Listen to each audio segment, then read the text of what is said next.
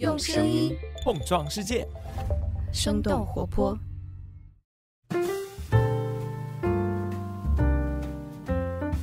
嗨，大家好，欢迎收听《声东击西》，我们一起用对话来发现更大的世界。我是徐涛。那今天我们请到的嘉宾是程志武教授，我想很多听众都听说过他。他是著名的经济学家，是香港大学冯氏基金的讲席教授，亚洲环球研究所所长。他原来也是耶鲁大学原金融学的终身教授。Hello，陈老师您好。啊，你好，徐涛。今天特别高兴能够邀请到您，因为我感觉我之前感兴趣的一些话题，其实都能够从您的研究和著作当中得到一些心智和视角哈。就比方说，您在您的新书《文明的逻辑》一开始其实是回应了一本我还挺喜欢的书，这本书是《枪炮、病菌与钢铁》，然后当中有个观点是说，农业发明是人类挺大的一个错误，因为农耕定居之后，人们的身体状况啊其实是变糟糕的，身高也变糟糕。不平等的起源也是开始于于此。后来，以色列的哲学家赫拉利可能在畅销书《人类简史》当中也是重申了这个观点哈。所以，就我当时看到您在《文明逻辑》当中做出呼应的时候，我想，哇，这不就是我当时想提问的吗？就为什么这么糟糕的一个发展，人类还不约而同地选择了它？所以这本书感觉的确延展出来的很多讨论都非常跨学科了。啊，对，是的。首先呢，我们看到像那个枪炮。啊，病菌与钢铁，戴蒙德的这个啊，好多年的畅销书啊，哈，其实它也是受唯生产力论的这个影响。工业革命，也就是一七八零、一八零零年左右，工业革命发生以来呢，呃，劳动生产能力，哈，就物质生产能力发生了这个非常大的跳跃。所以回想起来，在十九世纪的时候。很多的那个西欧学者哈，不管是枪炮、病菌、呃与钢铁这样的书，还是像赫拉里的那个人类简史啊，更不用说啊，其他的一些书，还包括这个啊莫吉尔的增长的文化哈，几乎所有的书呢，自从那个十九世纪啊这个上半叶以来，都受到这个唯生产力论的这个影响，但是呢。呃，我后来因为我自己是学金融啊出身的，嗯嗯，我们总是会强调投资决策的时候，你不能够只看到回报啊，看回报的高低，你不能够忽视掉这个风险的高低。所以我们总是在金融里边说，收益率和风险两个指标必须得同时放在一起来看。所以我后来的话，呃，当我对这个文明史、经济史感兴趣以后呢，呃，我就觉得很奇怪。就像戴蒙德说的，实际上在物质生产能力方面，进入定居农耕以后，还出现了一些根本性的下行。定居农耕以后的农民平均身高呢，都比呃原始社会啊狩猎采集的原始人，呃，要下降了啊零点一几米那么多的。我后来的话，我就觉得哇，如果按照啊为生产率的这个标准来评判的话，呃，在工业革命啊，一八零零年工业革命啊发生之前，人类社会几千年，呃，每个人的人均劳动收入啊，基本上没有什么变化的。那这样一来的话，哈，连那个基督教的出现、伊斯兰教的出现，啊，儒家的这些发展都没有任何意义的啊，因为按照生产率这个唯一作为唯一的。判断人类文明是进步了还是倒退了，啊，所以我这个书里面就是想，嗯，基于这样的一个背景呢，要做一个调整，做一个修正啊。对，所以就是您相当于是把风险这个引入到了观察历史当中，把它作为一个变量。我觉得比较精彩的就是说，当把风险引入进来，就会看到很多制度，它是因为要规避风险而产生的。然后，因为要规避风险，这个制度产生之后，它又影响了文明的进程，使得进一步产生了新的不一样的制度，然后以至于到最后，呃，可能东西方文明啊，或者很多文明有不同的走向。我觉得这个论证是非常有意思的，就是当中最有意思的一个是我自己看的特别享受的一章，是讲海上丝路。其实这个也是为什么是我感兴趣的，是因为我之前看一本书，是那个斯坦福历史学家 Ira Morris。写的那个为什么西方统治世界？就他有一大篇幅也在问说，为什么是西方发现了新大陆？然后当然他是从那个地理决定论来开始讲这个的。然后您是完全又是引入了不同制度风险。啊，其实那个伊尔·莫里斯啊，我对他的研究还是很喜欢的。比如说以前听他讲座，他就说啊，你们研究历史都是以十年、十年或者一年为单位的，我研究历史是一千年或者是一万年为基本单位的。所以，呃，他做的研究，我那种是非常宏观的，非常之大，呃，大历史啊，我是非常喜欢的哈。但实际上，他也是比较典型的。啊，受这个生产率啊，哈，生产力作为判断人类进步的一个指标。当然，他在有一些书里面谈到了关于人类啊，怎么样管理好大城市，从开始管理好小城市，到后来管理这个大城市几百万人口的，甚至上千万人口的。从这个意义上来说呢，它不只是像那个。戴蒙德的样子只关注生产力的这个变化，所以 Morris 还关注这个社会呃本身的这个组织是有哪些创新。你比如说像建立长城这样的大的工程，这不是原始狩猎采集的社会的人能够做出来的，因为这个里面要协调啊几千几万个这个劳工去修这个长城，这不是一件小事情的，所以。像 Morris 的话，我记得他有一本书里面也具体谈到啊，像做这样的大的工程，这反映了这个人与人之间的协调啊、组织的这个能力啊，是达到一个全新的高度。是哪本书呀？啊，有一本叫啊《Measure of Civilization》啊，就是文明的度量呀。文明度量那本书哈，太多数据了。我当时看的时候，就是满篇都是数据。嗯啊，是的，就关于那个海上丝绸之路。做也这些研究的，呃，写的书也比较多啊，但是很少从那个不同文明在海上丝绸之路上的个表现的不同表现的一个角度啊来去研究的啊，特别是啊，因为我是在美国生活了三十几年，以前的话就呃一直有一些观察，比如说哥伦布发现美洲大陆之后呢。由他们来啊主导了这些啊主要的啊海洋上面的那个贸易商路啊哈，现在看起来，你比如说英国人在北美开发了很多的殖民地，他们把啊英语留在了今天的美国，留在了加拿大啊，他们到了这个呃太平洋这边呢，印度洋这边呢，又把英语留在了澳大利亚啊、新西兰啊，甚至于印度这些地方。啊，当然我们都说是他们开发的那个殖民地了。然后西班牙人、葡萄牙人把他们的语言呢，呃，要么留在啊，像现在的巴西，他们讲葡萄牙语的；南美洲、中美洲其他的社会都是讲西班牙语。然后现在的话，连那个啊，我们这个讲到的菲律宾啊，在呃亚洲这边也是讲西班牙语的。国内的历史学者会强调，海上丝绸之路啊，是中国人先做起来的。而且呢，说是从战国时期开始做起来，然后到了这个汉朝啊，有很很多的这个发展，到了唐啊宋就更加是把海上丝绸之路发展很多。我就是想问一个问题：那既然沿海的这些中国人，呃，在海上丝绸之路上面经营了、主导了这个一千多年，甚至将近两千年。那为什么没有在沿途，不管是在印度洋的啊，在阿拉伯海那一边沿途什么地方把中文给留下来，也没在印度洋沿印度的沿岸啊留下这个中文，呃，甚至于到了泰国这边，到了印度尼西亚这边也没有留下什么。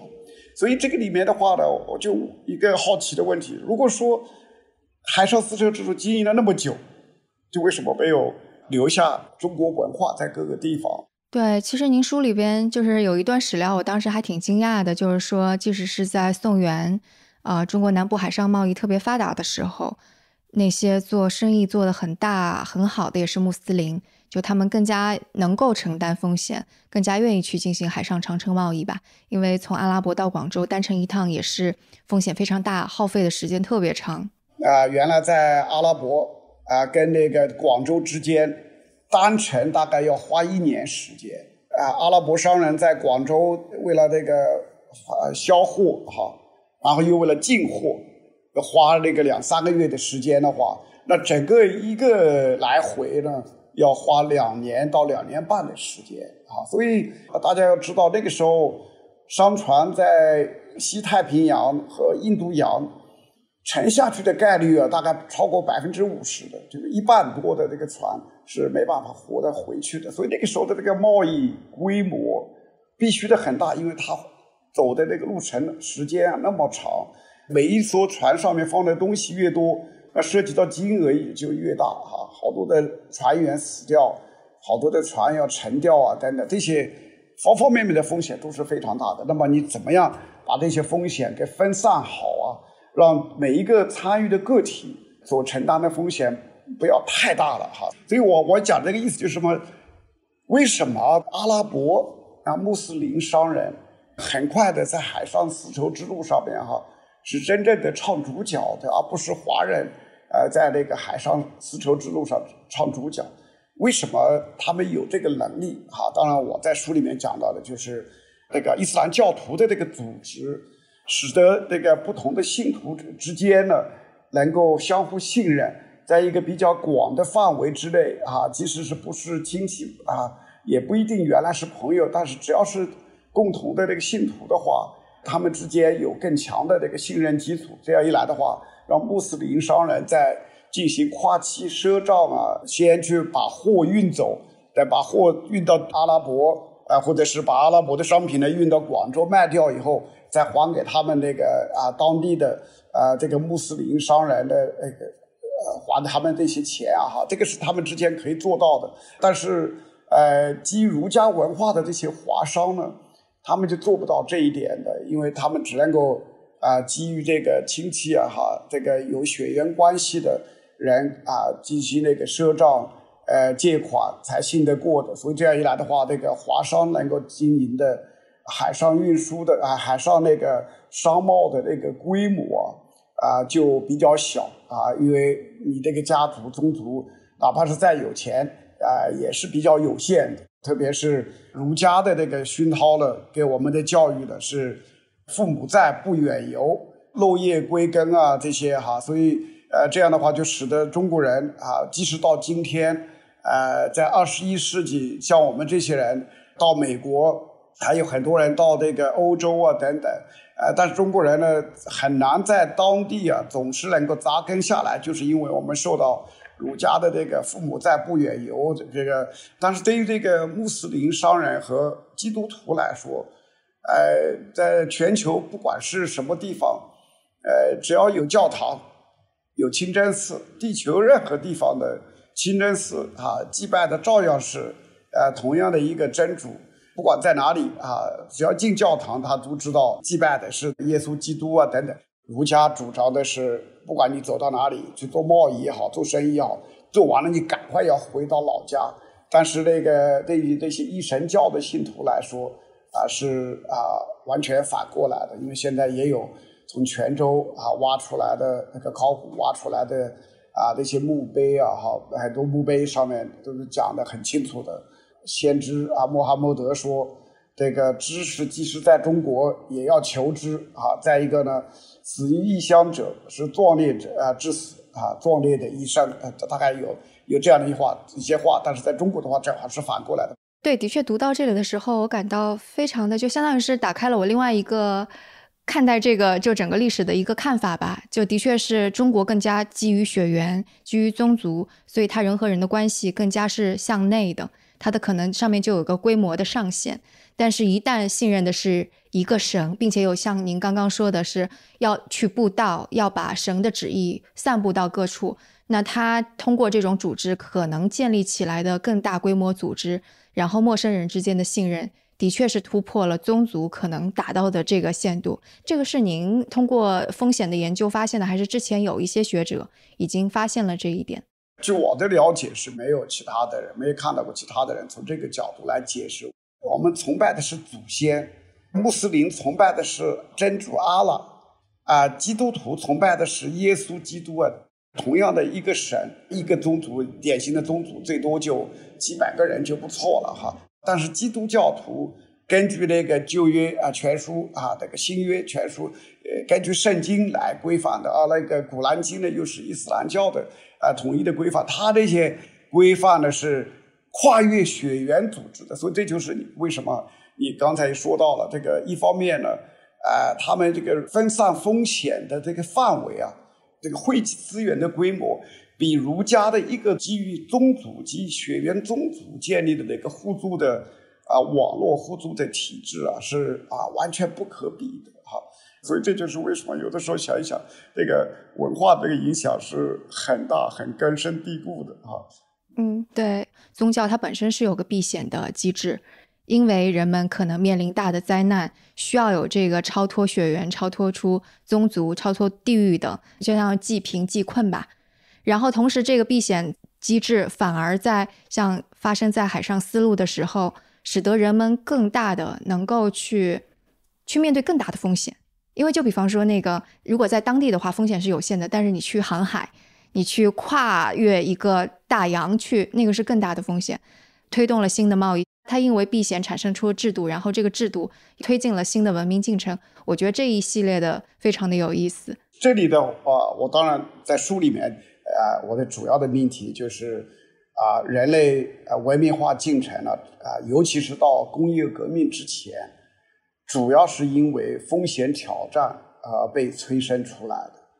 应解决好风险挑战，那是更主要的这个这个催化剂，这个推动力的这个道理蛮简单。特别是像今天啊，我们不管呃谈起上海，不管是谈起北京还是其他地方，一方面经济增长面对一些啊这个压力啊，另一方面呢，这个新冠病毒带来的这么大的冲击啊，所以就使得我们突然之间感觉到哇，这个。原来以为只要有高楼大厦，有好多套房子，有很多的物质的东西，我们就可以日子过得像神仙一样的是吧？但现在发现的话，即使你有很多物质财富，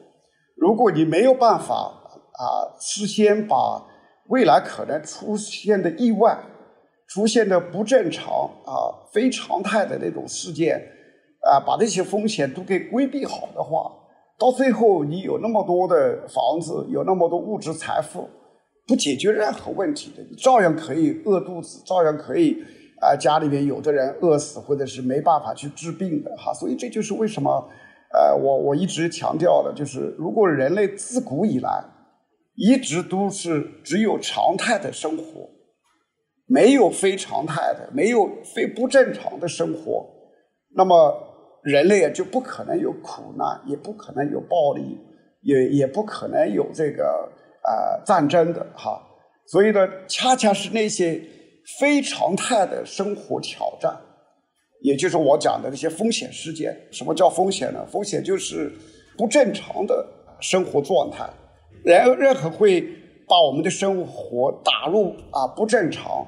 的那些事件，都是我们讲的风险事件哈。所以这就是为什么这一次很遗憾的，就是上海那么多的，还有其他地方那么多的人经历那么多苦难。但是这些教训呢，另一方面呢，也给我们提醒了啊，过去几十年啊，大家只关注增长啊，只关注这个物质生产能力的提升，物质产出的啊越来越多，越来越丰富，没有人去关注风险挑战，怎么样去做好准备，怎么样应对好啊哈。这实际上，我们过去几十年的做法也是违背了孔子讲的“不患贫而患不安”。呃，不患贫就是说你啊，物质产出多和少，物质越多蛮好的，但是这不是最重要的。这最重要的还是我们的生活是不是能够有很强的安全感，对未来的生老病死，对未来可能发生的暴力事件，对未来可能发生的战争。对未来可能发生的瘟疫啊，哈，呃，还有精神上的那个挑战啊，哈，对这些非正常的、非常态的这些事件的出现以后，我们是不是照样能够活下去，能够有饭吃、有地方住啊、有衣服穿等等？这些是孔子讲的，才是更重要。所以，解决安全挑战。啊，解决这个风险挑战，实际上，尽管孔子不是说这样的话，不是按照我的文明的逻辑的书里面的话语来讲，实际上他讲的意思就是跟我的书里面说的实际上是非常一致的。我们不能只看增长，不能只看那个物质生产能力多高，同样重要的，甚至更重要的，是要解决这个这个风险挑战的问题啊。所以这个时候呢，再回到刚才说的这个海上丝路的这个对比啊，哈，因为中国人做的选择就是孔子他们当时，当然尽管孔子说啊不患贫而患不安，结果他找到的解决办法是什么呢？哦，那我们把所有的中国人呢，第一呢，基于血缘做一个分类，OK，我们陈家的。啊，在我们湖南茶陵那个呃，我们那个村里面啊和周边的陈家的都是一个大的宗族，我们之间呢要进行互那个共资源共享、风险分摊啊。我们一个陈家出了问题，有人生病了，或者是有人被打了啊，大家都一起要暴露这个陈家去打架啊啊，因为我们是血缘共同体的啊。对于中国人来说呢，正因为孔子啊，甚至从那个周公的时候，周西周的时候就开始了哈，就基于血缘来建立这个合作互助的这个网络。穆斯林呢，是基于这个共同的伊斯兰教的这个信仰来建立风险互助啊、资源共享的这个网络。所以这个时候的话，我们马上看到这两种方式啊，解决风险挑战的方式，某一些效果是一样的，就是让大家。资源能够更放心的、更信得过的去共享，出现意外的时候，受到这个非常态的这个事件的挑战的时候，也就受到风险事件挑战的时候呢，其他的这个族人或者是同一个清真寺的那些信徒啊，可以给你提供这个帮助。但是这个差别就在于，基于这个伊斯兰教的这个共同体和基于这个血缘的这个成家共同体啊，哈。这个人数上面、资源规模上面，是完全是两个呃完全不同的数量级的哈，所以这就是为什么，呃，在原来的那个经济规模比较有限，这个风险挑战也不是特别大，所以你刚才说到了哈，原来如果只是都是在家里面在村里面种田，大概也就是啊面对的风险挑战也就是这么一些。旱灾发生了，怎么应对啊？大家一起来啊！谁家存的粮食比较多一点，来一起分享。水灾发生了怎么办？战争发生了怎么办？瘟疫发生了怎么办啊？都是以这个血缘网络啊，很多情况下都能够总体上可以解决好。所以你刚才说到的这个啊，总结的蛮好啊。所以在海上丝绸之路的，从某一种意义上来说啊，比较显形的。啊，就把儒家文明，呃，跟那个一神教文明啊，呃，彼此的这个优势，呃，劣势的做了一个非常好的展示。特别是你刚才说到了，就是说一旦开启啊海上贸易了以后，远途海海上贸易了以后，这个风险的级别跟简单的这个农业的风险级别是发生非常大的这个变化啊。海上贸易发生了以后，提供了一个全新的检测的考验的那个场景，就看各个不同的文明啊，哪一些是分摊风险的能力是非常强的，哪一些文明它分摊风险的能力是很弱的，啊，通过那个海洋贸易啊，就可以在工业革命之前呢，呃，通过海上贸易啊，这种大的风险啊，经济活动呢，可以充分的给它展示出来啊，所以这就是为什么。国际范围之内研究这个文明史、研究经济史的一个共识之一呢，就是在大的工业革命发生之前，海上贸易的出现，哈，这是啊最挑战那个人的那个风险分摊能力的啊，因为原来没有这么大的风险的这个经济活动，因为大家可能以前也看到过，你像说这方面呢，特别是后来这个。啊，欧洲人来了以后，尤其是那个荷兰人，呃，在十七世纪啊上半期来到了这个印度洋啊和太平洋做贸易了之后，他们呃在这个融资啊分散风险这方面就又比阿拉伯那个穆斯林商人啊就做得更好啊，他们就推出了这个股份有限责任公司啊，通过发行股全社会范围之内发行股票啊哈。我是觉得呀，海上丝绸之路的历史是一个非常好的一个检验不同文明、对比不同文明的一个场景。嗯，对，所以就后来就是相当于是无论是西方还是中国这边都讨论的大分流，说大分流之前究竟发生了一些什么？其实如果按照您书里说的视角，其实就是中国这边更多的还是以宗族，所以它有一个风险抵御的上限。但是西方从那个一神教开始的，通过宗教来分担风险，进行长城贸易，再到股份制，然后再到各种各样的金融手段出来。非常明显的，就一个是以血缘，一个是非血缘的。看您书里边也是往前推，说西方的文明一直到往前，已经在选择了这种非血缘关系的。但是我没有在你书里边找到说为什么在那么早期，在那个夏商周或者是古希腊、古罗马那会儿就已经开始了这样的分野，以至于到最后引起了现在我们讨论的大分流。彭木兰这个大分流的那个书啊，哈，在中国。啊，历史学界，尤其是经济史学界，影响非常大啊，也对于这个中西文明对比讨论啊和这些兴趣啊哈，带来了非常大的推动啊，所以这是非常好的一件事。但是大分流也是另外一个典型的，就基于生产力来判断哪个文明更有优势，哪一个文明更先进，哪一个文明更落后。就在我看来，就是彭博兰整个的书里面都没有。从那个风险应对能力的这个角度来比较啊，看看那个中西方，呃，是不是早就在这个工业革命之前，应对风险手段啊、创新和安排就已经有很大的那个区别。所以你刚才讲的很好，就是我在我的书里面呢，既然提出了，就是从风险的视角来重新阐释。理解不同的文明和整个人类的文明化的那个进程啊，有了这个维度以后，我们就可以看到，哇，其实中国跟西方分道啊而行的这个时间，至少可以推回到轴心时代，也就是说，距离现在啊差不多两千五百年，孔子的时候，跟孔子同期的，就差不多同期的，就是啊古希腊的柏拉图啊亚里士多德，孔子做出的选择。甚至比他更早，到周公的时候做出的选择，就是基于血缘组织中国社会的人与人之间的关系和建构中国社会的这个结构，哈啊，所以这个是儒家啊一开始或者儒家之前呢就开始做出的一个选选择，就是差不多三千年以前做出的选择，但是在西方至少。在柏拉图啊，这个阿里亚里士多德的时候，也就是距离现在差不多两千五百年以前的时候，他们更多的把重心放在组建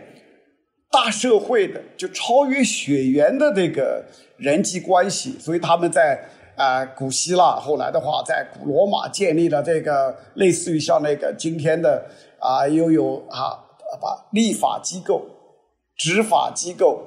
呃呃，执法和司法机构啊，跟行政呢要跟它分离开来。但中国这个，不管是儒家的一代一代的儒家学者，还是之前的，都没有关注这样子的问题。所以这就是为什么让我觉得哇，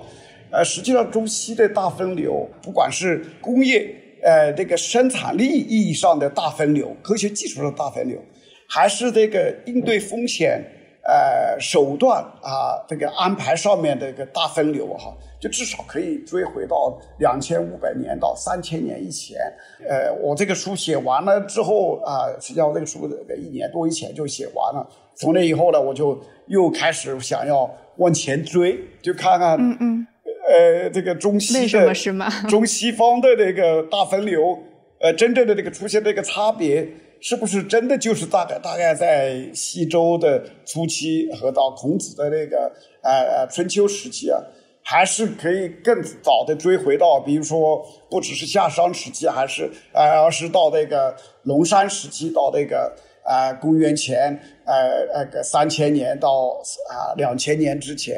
呃，还是更早。我这一年多也花蛮多时间做一些这些方面的那个资料的收集啊，呃，和看一些文献，呃，所以让我觉得哇，这个蛮有意思的啊，我们还有那么多东西不了解的。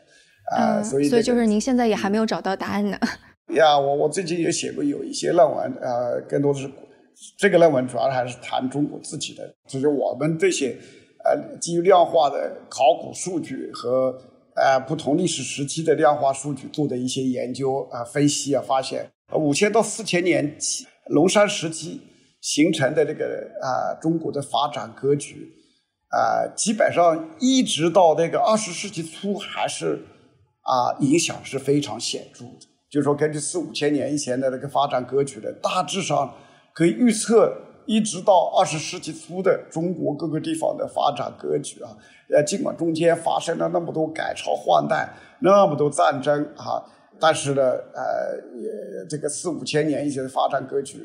就为后来的这个格局呢，就基本上定型了。当然，后来的主要的改变的地方呢，就是海上丝绸之路带来的改变呢，就使得。南方的沿海哈，从你老家常州那边啊，再到这个浙江的啊，特别是温州那一带，还呃渔业啊，当年的渔业像啊啊宁波啊，再往南的话到这个闽粤福建了哈啊，南粤广东这些地方的话，主要呃后来兴起的比较快，主要是因为海上丝绸之路这些变化倒是跟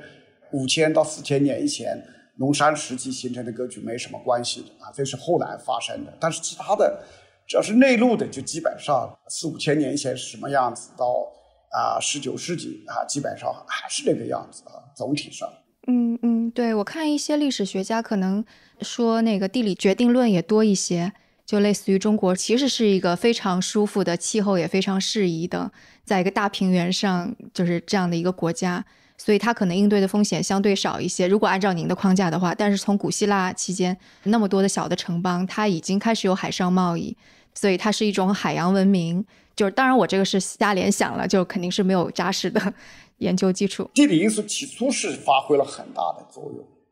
但是到后来的话呢，就是妙就妙在这个有些文化，它你一旦把它启动起来，它就有它自己的优势和它自己的生命力。举一个例子，就是像湖南有一个县叫澧县，还有这个是石门县，就紧挨着的哈。澧县呢是按照湖南人今天说的，湖南出来的和在湖南范围内的很多的这个官员，特别是地区市的市长、市委书记啊，或者是更高的这些官员呢，相当多的，远远超过澧县的人口比例的这个数量呢，都是来自于澧县的。所以说以前的话，那个湖南的那些知识分子都不理解为什么李县就出这么多的官员，那个地方的人怎么了？啊？就按照那个许宏教授说的，一方水土养一方人。但是实际上，李县他最初是一方水土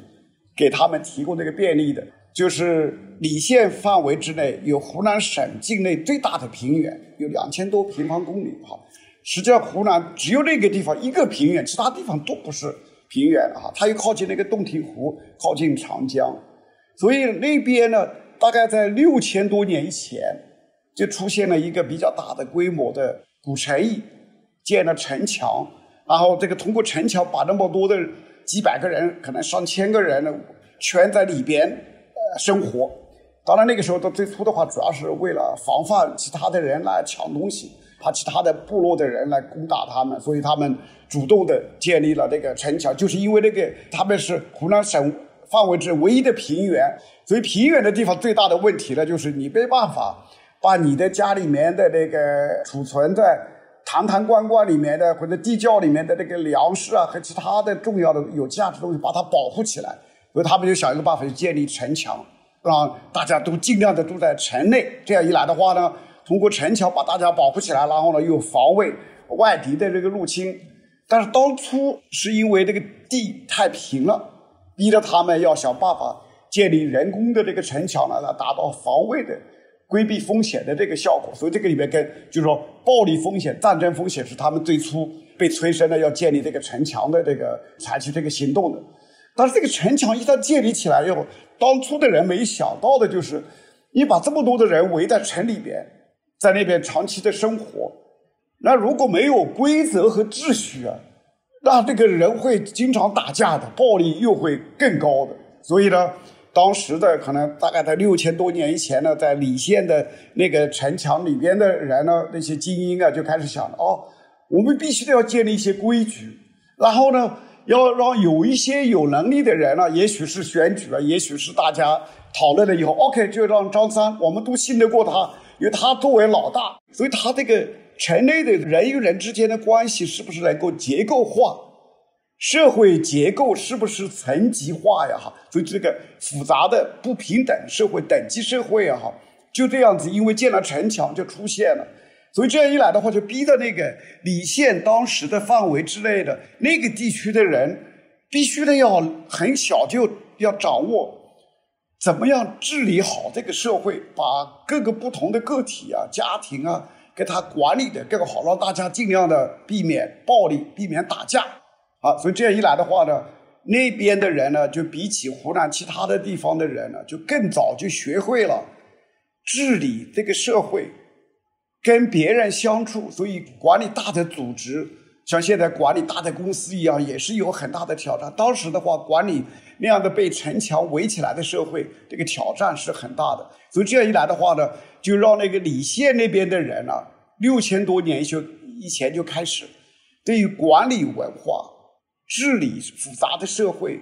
处理好人口密度很高的复杂社会里边的人与人之间的关系啊，哈。他们很早就开始了做这方面的探索，然后不断的在后来的六千年的时间里边，不断的把这些经验呢，哈，成功的经验给它总结下来，通过口传呢，言传身教的，一代一代的传下来。所以到了今天呢，李县的人照样还是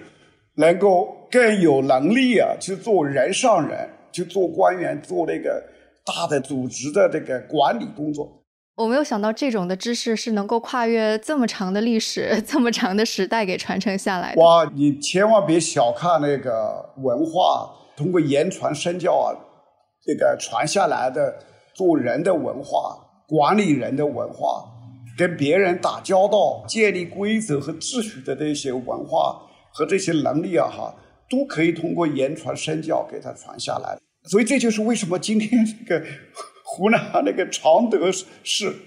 常德地区下面的人出的官员，包括出的学者，也包括出的企业家。湖南主要两个地方，一个是常德，还是岳阳，那个都是在洞庭湖边上、洞庭湖平原的那一带了哈。那两个地方的精英啊最多的。这个是跟那个我刚才讲的，他们很早就进入这个城镇化管理、应对复杂社会啊哈，这个长历史有关系的。嗯。就跟这个相关的话，就是回到您刚刚说疫情期间，我们或者是现在各种各样风险期间，我们是不是能够找到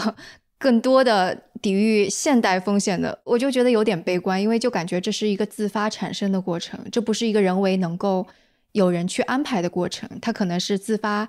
自下而上，或者是也许会有像孔子或者亚里士多德、柏拉图一样突然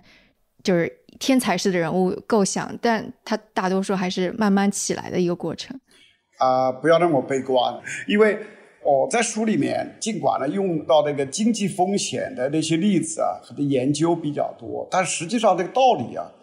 可以应用到这个天灾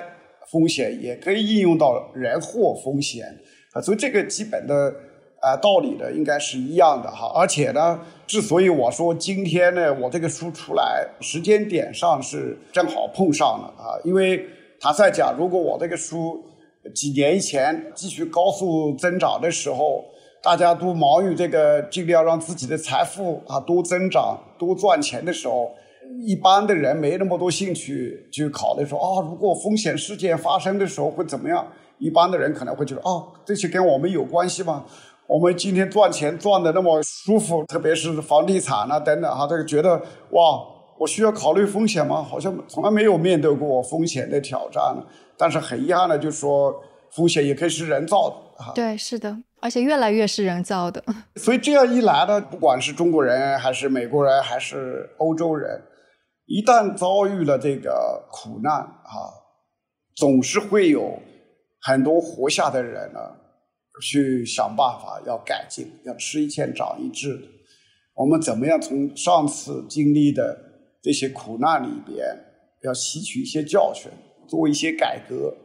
做一些创新，然后让我们重新呢，又能够回到这个文明化、规则化、秩序化的这个轨道上来。比如说，这个本来我们讲全球化之前。各个国家即使发生金融危机，呃，也就是这个国家的人受到影响，其他的国家不用去操什么心，因为不会影响到他们哈。但是后来零八年呢，那次经历让我们看到了全球金融危机呢是美国那边起源的，但是呢，全世界各个角落的人几乎都受到这个影响。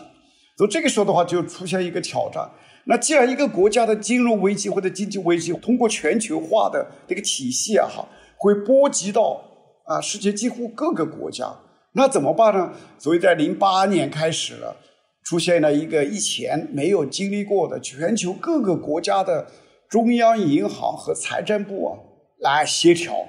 所以呢，这个 G 二零是一个主要的协调那个机构之一，但是 G 二零之外还有很多其他的。各个国家一起来开会，一起来协调统一的行动啊！要加息都一起加息，要放水大家一起放水等等。所以，当我们问到哈，就是说人类自己就为了应对天灾人祸风险，自己创造了更多的风险了以后，有没有什么新的应对风险的措施，在最近这些年被发明，然后呢被这个继承下来啊？哈，像那个各个国家央行之间的相互协调。各个国家的财政部之间的相互协调，这就是一个啊非常好的例子，我觉得。嗯嗯，我觉得接下来可能还有一个会带来风险，而且特别新的是关于就是虚拟的网上世界，用元宇宙这个词语已经用烂了。因为我觉得它有意思的地方是一方面，它的确是让信息更加透明化呀，更加像那个跨区域、跨时间的合作、资源的分配，还有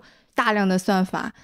但是同时，它是跨越了国界的。就是我们说，国家是一个规避 风险的非常大的一个机器，法律制度规则是一个非常有效的规避风险的制度。但其实，在这个世界当中，现在所有的这些规则都不存在。我还觉得这一部分是挺有意思的。对，这些也会带来一些新的风险哈，就是以前没有经历过的。但是这些啊，跨国界的元宇宙的这个出现啊，哈，还有刚才我们讲到的金融。世界实际上就是另外一个典型的跨越国界的，当然这个跟那个物理、商品市场的，还有通过这个互联网建立起来的打通国界的啊一体化的这个啊全球化体系，这个都是相互关联在一起了哈。但是这些变化呢，我觉得在未来呀，我是蛮啊相信呢，会催生出这个。最后必须的，大家都接收的这个世界政府，因为各个国家的经济联系、信息联系、金融联系、知识联系，然后互联网的元宇宙更加打通了哈。但是在那个立法、执法这个层面，因为各个国家都是主权国家，所以跨越国界不能够去执法的。当然有，也有跨越国界。进行执法的那些安排，但是这个都是双方自愿的，根据那个协议啊哈来决定，啊，同时呢也可以根据协议来就是放弃的。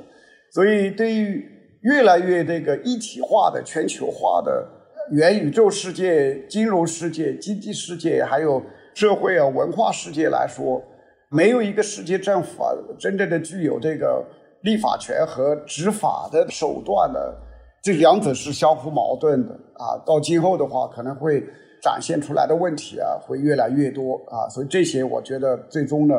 会逼得更多的国家都愿意去接收某一种拥有真正的一些权利的这个世界政府的出现。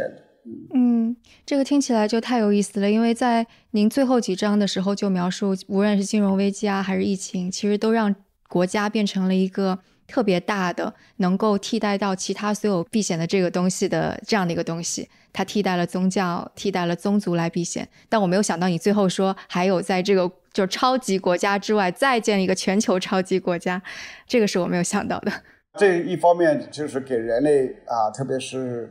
在人造风险这个维度上呢，哈，各个国家政府集中的管控的资源，政府掌控的权力呢是。越来越高，真的是史无前例的高。你像，包括像美国联邦政府啊，现在每年的预算动不动的话就是好几万亿美元。你像这次新冠病毒期间，美国联邦政府给每一个个体啊，哈，特别是中低收入群体送的钱，然后呢，给那些小企业送的钱，然后要求那么多的公司和地方呢关门进行那个风控管理等等。所以这些的话，借助这个新冠病毒这一场那个瘟疫危机啊，哈，让美国政那个州政府，特别是联邦政府权力啊，哈。扩张了非常非常的多，所以啊，我们根据以前的经验呢经历，因为疫情挑战扩建权力是很容易的，总是可以找到那个理由。但是，一旦那个疫情结束以后，是不是在疫情期间政府新扩张的这些权力，是不是给会放回去呢？没那么容易的哈，所以这就是为什么这个我们看到的是啊，任何一个国家的现代政府啊，又增加了很多的权利，但是在危机完了以后，不会去把这些权利啊给回去，所以日积月累的结果呢，哪怕是最强调小政府的、强调这个个人自由、强调自由选择的美国社会，更不用说英国、德国、法国社会啊。美国过去的两百多年历史中间，任何一个时期都权力的数量级这方面发生了很大很大的变化啊。所以你说的对，如果在这个基础上再加一个超越这个主权国家的世界政府，呢以后怎么办？这个人类个人有的空间不知道怎么样啊啊，到底还会剩下多少？这的确是。关注人类文明化发展的人呢，都应该去思考的问题。这是我们人类今后，包括今天，尤其是今后呢，会越来越直接面对的啊这种挑战。嗯，对。就如果我们就是站在现在回过头去看的话，您刚刚有提到嘛，说为什么像东方可能因为宗族的原因，它在进入到新的一个时代，它没有那些元素能够抵抗更大的风险，没有办法。更大规模的去组织社会合作和制度创新，但是西方因为之前已经有了一些这种非宗族的法人的，或者是就是非人格化的组织，使得它在新的类似于远洋贸易啊，或者工业革命到来的时候，它已经做好准备了。那现在，比方说我们接着往后面看。可能会出现一个什么样人类 文明的，就是重大转变。但是现在已经看到不同的社会结构当中出现了这样的要素，使得我们做好了这样的准备。就是我知道这个问题问的比较虚哈。嗯，啊，不过这个是蛮有意思的。这这，你放心，对于我来说，呃，这些问题一点都不虚的，而是非常实际的、非常实的问题啊哈。啊，因为我在在《文明的逻辑》书里面强调了哈，其实人类到目前为止。大致上发明了四大类的应对风险挑战的啊这些机制哈。第一类这个最早的机制，就我说的是主动应对风险挑战的，像迷信是最早被发明的，也是为了这个应对风险和不确定性挑战的一种反应吧哈。但是那个相对来说是被动应对风险人类做出的这个发明哈。啊，所以在我看来，人类发明的。主动应对管理风险挑战的，主要是有四个方四大类机制哈。第一类的比较早的就是基于血缘的，像那个婚姻、家庭、宗族啊，这个是一类。第二类的话是基于这个共同信仰的，像基于宗教的，像基督教有差不多两千年的历史啊，这是人类到目前为止除了这个。血缘、家族、宗族这个体系以外的，活得最久的这个社会化的组织。第三类的就是市场，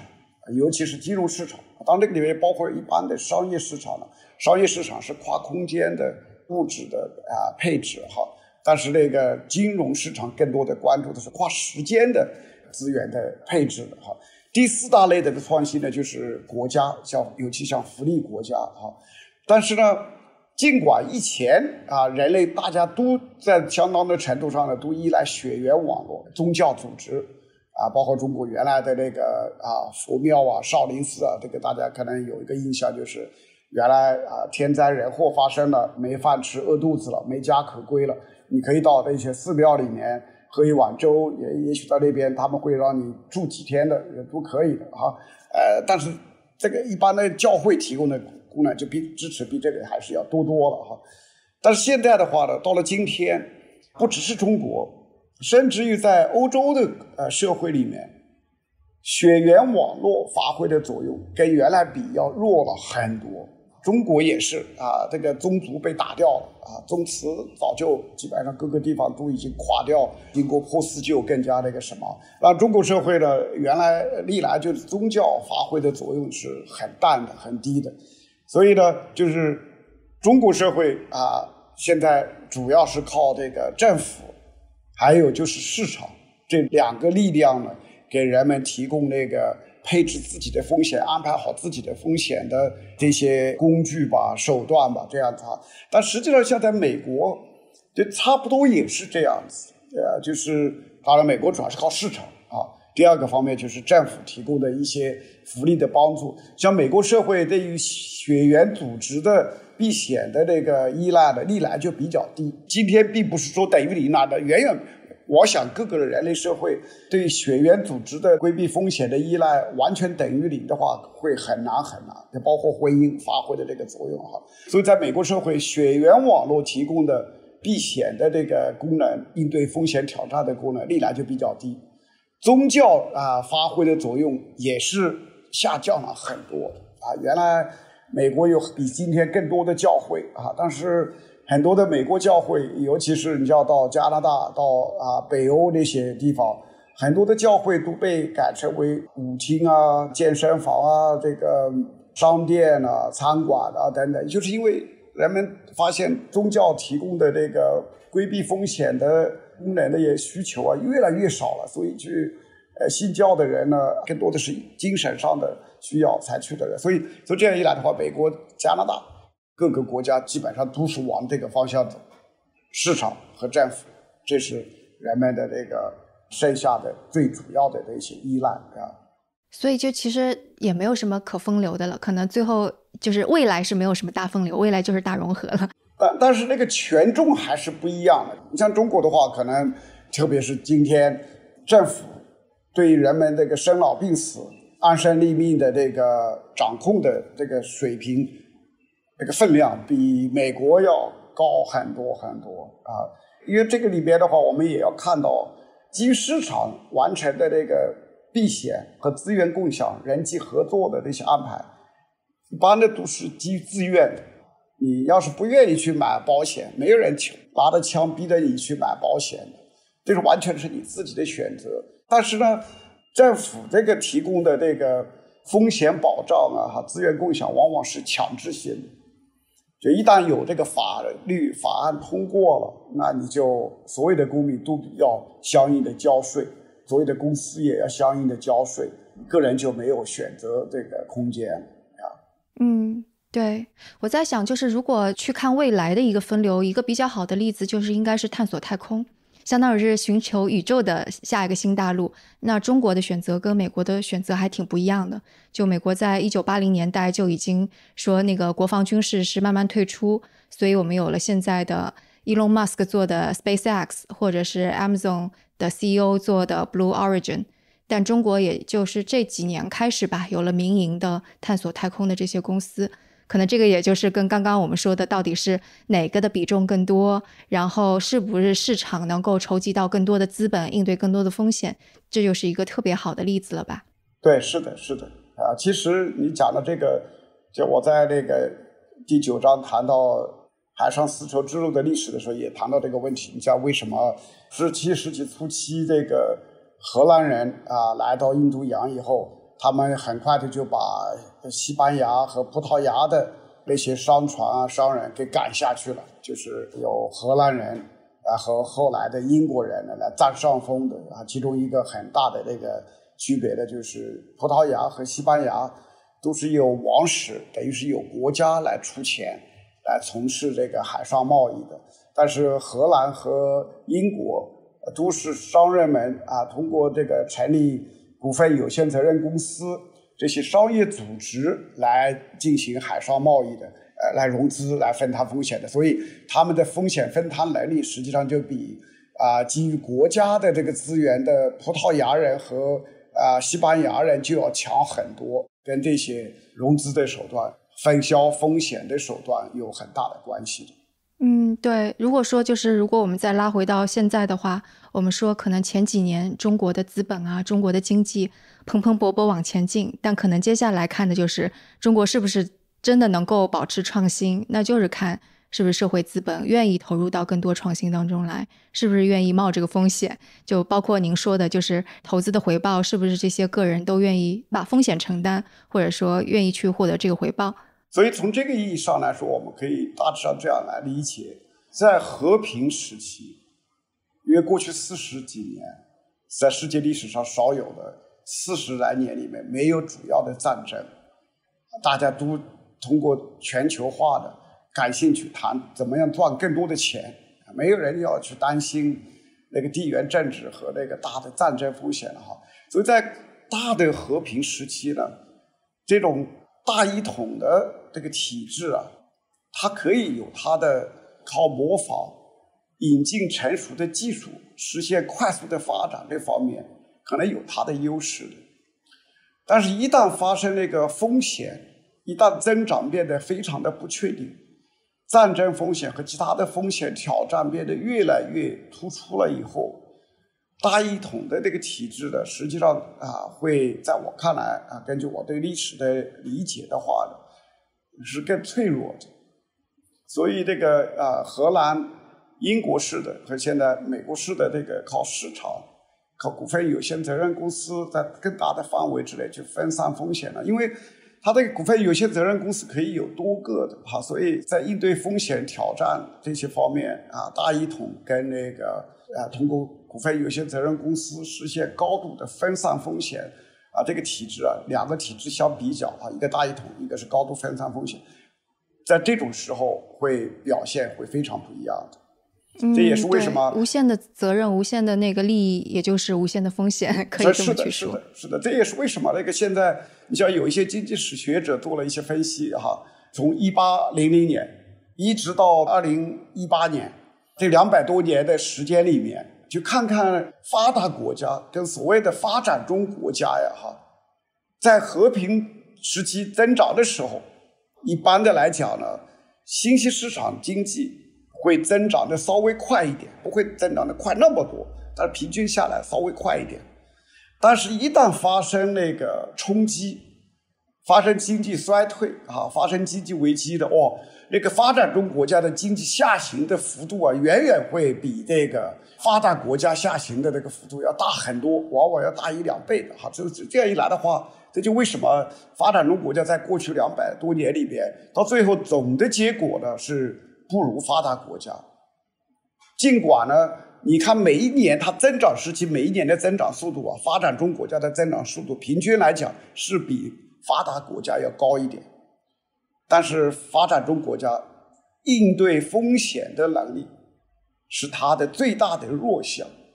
所以平时可以有更快的一些发展，但是一旦碰到这个大的摔一个大的跟斗的时候，发达国家可能摔的受的冲击很有限，但是发展中国家就没办法爬起来。嗯，但我觉得这里有个悖论，就是刚刚我们说风险来的时候，现在国家是越来越大政府。福利国家动用很多很多资产，就它本身就是在不断不断承担更多责任的过程当中，但事实上承担更多责任，它又变得更脆弱，就感觉是一个悖论。啊，这个还是不是一个悖论呢？因为因为这个里面的话，一个是有总体的实际的基本实力、基数实力有多大，这个是有差别的哈。发达国家更多，发展中国家更弱。还有一个呢，就是就正因为这些发展中国家它的资源基数比较低。而这些国家这个体制啊，就总是搞不好。就之所以这些国家在某一种意义上来说应对风险能力更差了，就是因为，尤其是在那个面对挑战的时候，这些国家的政府更加会乱套，而且有也往往会发生内战了等等这些，还有很多的暴动会出现。就没有更加稳固的政治法律制度、社会制度。嗯，对，所以我这里讲到的这个风险，不只是经济风险，也包括社会动乱的风险、战争风险。这些的话，恰恰是这个发展中国家的这些啊体制啊啊和政府啊是应对不了的。嗯，感觉这个就会讲到，就是法学史的学者们会更加愿意去讨论的。就比方说像英美法系的不断迭代的法律制度，还是就更加成文法的那种制度，就感觉又又跟这个相关了。总的来讲的话，就是说我这个书呢，我是希望达到的效果是这样子。我本来不是研究文明史啊，也不是研究文化的这个专家，但是呢，正因为我从小对自己。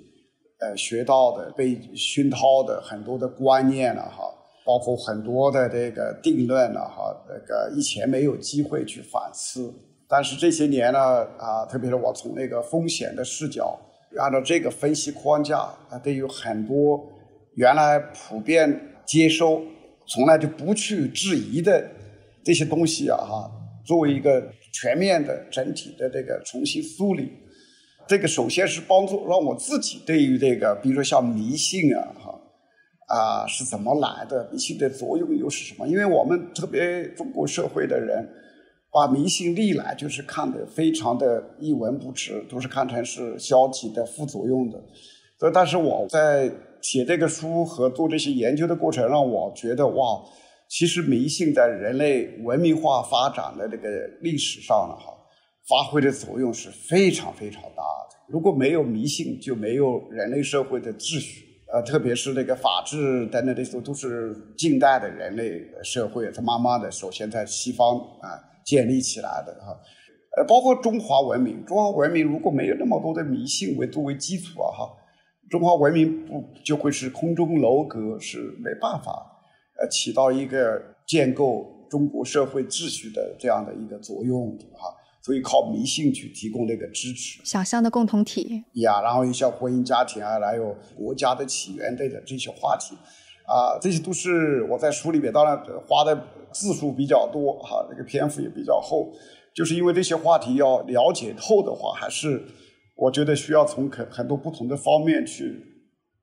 讨论啊、探索、追究这些话题的，所以我是希望通过这个书呢，能够有更多的。啊，人呢像我一样的哈，对于我们生活的世界、生活的这个社会啊哈，更多份的这个了解啊，这样的话，让我们过起日子来，过起生活来。尽管这样的知识、这样的理解不一定会马上就给我们带来更多的房子哈、更多的车啊，未必是这样子。但是让我们的。对自己的生活的把握，哈，可以啊更充实一些。嗯，对，我觉得读这本书的时候，满足了我很大的好奇心吧，因为我觉得每章的论证都一个问题接一个问题，是非常能够引人入胜的。好，谢谢徐涛。嗯，好啊，那今天也非常谢谢陈志武老师。好，谢谢。在节目的最后，也欢迎大家来讨论这个话题，因为最近让我们吃惊和愤怒的事儿还是蛮多的，啊，也反映了很多制度与风险之间的关联吧。所以我想，今天程志武老师的分析的角度可能会让